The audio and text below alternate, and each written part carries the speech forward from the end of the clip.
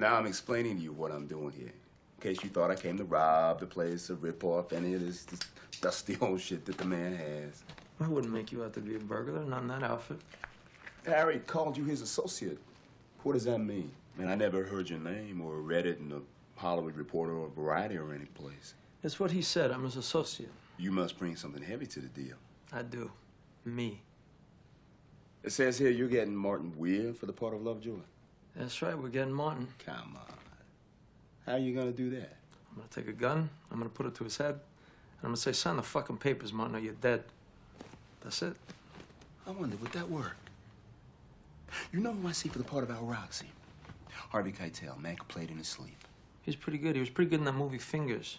Ah, I missed that one. You know who else? Morgan Freeman. You know Morgan's work? Morgan Freeman, yeah. But he's a colored guy, though. So what?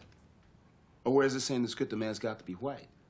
Color's what the part needs, man. You need somebody to do it with some style. But what do you think of the script?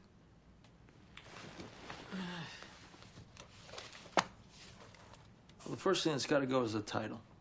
I mean, this writer's name, Murray Saffron, would be better than Lovejoy. Now, I'm with you on that one. You know what I'm thinking? Why don't you and I, we sit down, we write the script over where it needs it. You could write one of these. There's nothing to it. All you do, you get an idea, you set down what you want to say on paper. Then you hire somebody else to fill in the commas and shit where they belong, if you're not positive yourself. Maybe fix up the spelling where you have some tricky words. Although, I've seen some scripts, I know the words weren't spelled right. There was hardly any commas in it at all. So I don't think that's too important. All right, you get to the end. You write in, fade out. You're done.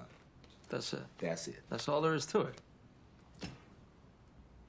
Then what the fuck do I need you for? Because I'm offering my services on this one, man. Well, I'll tell you what. If I need a ride sometime, I'll let you know.